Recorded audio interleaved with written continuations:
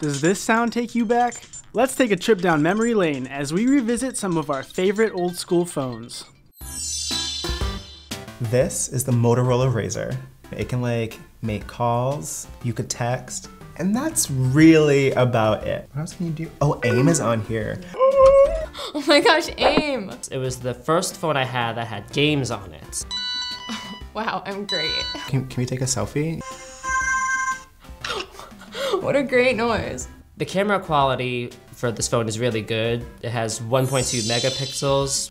it is so blurry, you can't tell anything that's happening here.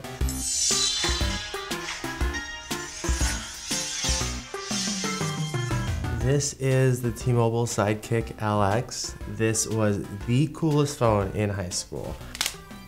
Hello? Hello? One second. Hold on, let me check my phone.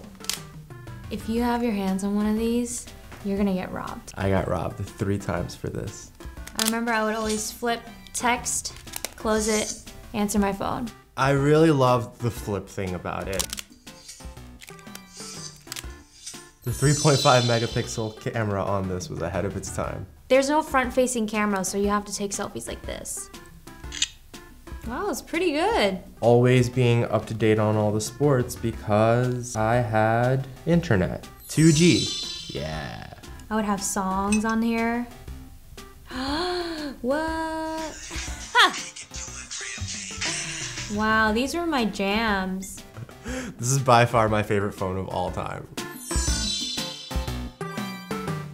This is the BlackBerry Torch. They should have named it the BlackBerry Touch because it's their sad excuse for a touchscreen phone. The buttons, like the sound is just like really nice. I don't know how to describe it. All right, we're gonna go into good old BBM and text whoever this Bay is. Obviously, they don't like me because they're not replying.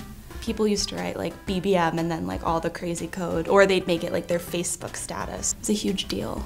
The camera was really bad on mine. I don't even think I saved any of those photos. Okay, I'm gonna take a picture. Oh, that sound!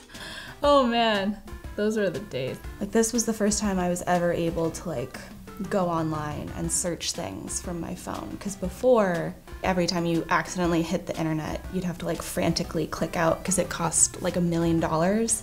Where my BBM fam? And no one was a BBM fam.